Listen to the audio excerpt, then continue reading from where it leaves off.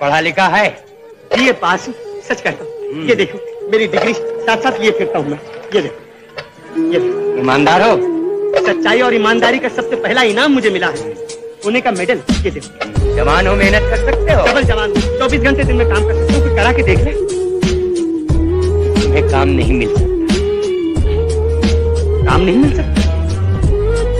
पढ़े लिखे ईमानदार मेहनती जवान को काम नहीं मिल सकता?